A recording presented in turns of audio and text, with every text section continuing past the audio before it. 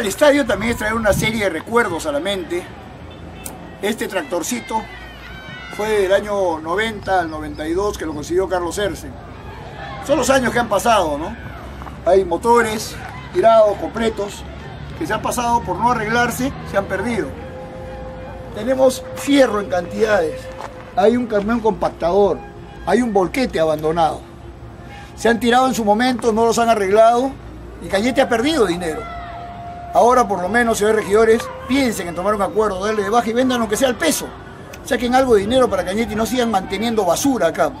Porque lamentablemente por culpa de algunas autoridades, esas máquinas se convirtieron en basura. Pensar que el esfuerzo que hacíamos ante las autoridades no dejábamos que ninguna empresa se saliera con la suya. La Inca Cola le quedó debiendo mucho tiempo a la municipalidad y nosotros le quitamos esta camioneta.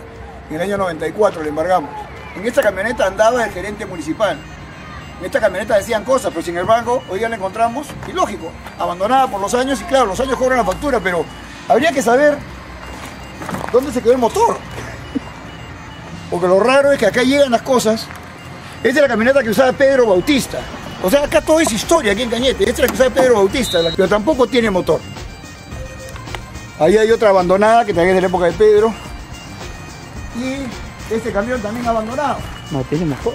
Este es un Caterpillar. Ya ni se puede abrir esto acá. Pero también sin motor. Entonces, la gente se ha ido robando el motor. Acá está. Con recursos propios se compraron las cosas. ¿No? Un Ford.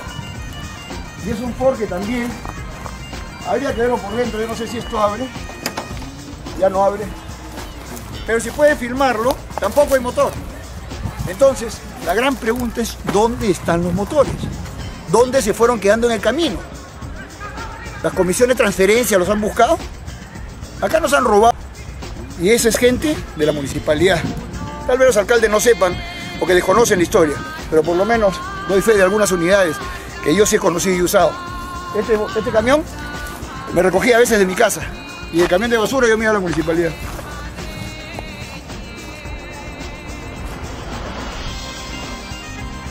Esto también es parte de la historia de Cañete. En el año 92 pretendieron meternos esta máquina como una gran compra realizada por la gestión anterior por el peaje. Nosotros hicimos la denuncia, fueron sentenciados fueron autoridades y dijimos, esa máquina no sirve. Han pasado los años y esta es la gran realidad. La encontramos tirada en el almacén, si se puede llamar almacén. Por esto se pagó un montón de plata, hubo un juicio, hubo sentencia. Nunca más estas cosas en Cañete. Nunca más. Por eso piensen a la hora de votar. Piensen que también hay que limpiar la municipalidad. Piensen que hay que hacer algo. No había dinero, estábamos hablando de eso justo con Giancarlo, que está conmigo acá, y a quien le agradezco siempre me acompaña. Nosotros para hacer una pista, venía todo acá primero. Yo María Montoya, vea, cuando no hay plata, acá venía el asfalto en líquido. Acá lo preparábamos y es más, ahí está Luis Alberto Quispe Sánchez, es el nombre que era mi seguridad de la Policía Nacional. Acá venía todo el material y vea usted, señora María Montoya, lo que tiene acá. Esta es la máquina para hacer el asfalto en caliente con esta máquina es que ahora, hasta ahora en la actualidad, las empresas no dan el asfalto. Esta máquina se trabajaba. Esta máquina era enganchada a un camión, calentaba el asfalto, le sacábamos de acá y se llevaba para hacer las pistas. Acá tenía la valla, la barra, con la cual botábamos el asfalto en caliente. Señor Montoya, antes había imaginación, antes amábamos las cosas, antes queríamos las cosas. Y esto no nos gusta. Y también te lo tengo que decir a ti, Javier Dorado, tal vez tú, Rufina Lévano, los tres últimos alcaldes, que preguntarse dónde está lo que antes se hacía. Realmente da pena.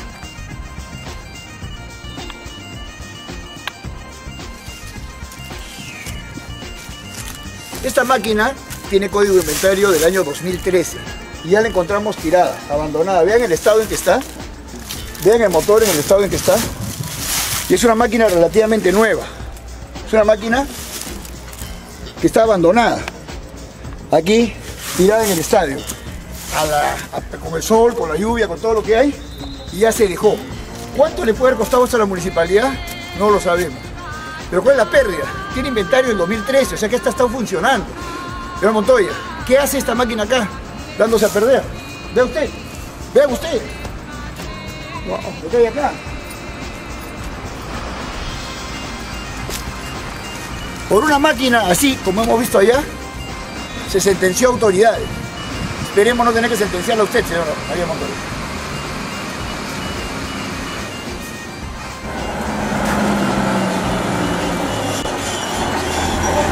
Oye, ¿qué año es este acá? 8 9. Este es casi de la misma época que está allá tirado, en blanco. Claro, pero ya, no, pero, ya está bien, pero el que está allá es no, era de los setenta y tantos también, este es 8 9, o sea, este es 8 9. Qué bárbaro. Claro, claro, claro, pero son año 8 9, imagínate, o sea, hay 8 9 y sigue funcionando. Este es el hermano de una cisterna que le mandaron a Jaime Bo, pero del año 89. ¿Por qué no funcionan los que están tirados allá si son parientes de la misma época?